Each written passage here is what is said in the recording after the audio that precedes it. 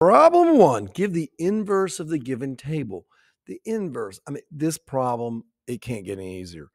The inverse just simply means flip your x and y. So x was 2, so I'm going to make the y 2. y was 4, so I now just flip it and make the x 4. So I'm just going to flip these numbers. So this will be 1, negative 3. Over here, the x is 0, the y is negative 1, so we make the x negative 1 and the y 0.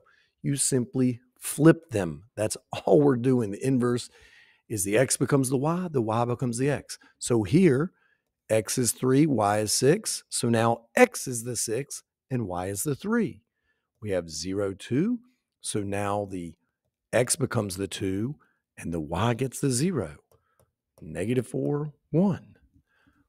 Problem 3, exact same thing. Well, here we flip them, but ah, same problem same numbers in this spot. Here, one's going to go there. The negative two is going to go there. Eight's going to come over here. The negative six is going to go over there. That's all we're doing when we're finding the inverse with a table. The x becomes the y, the y becomes the x.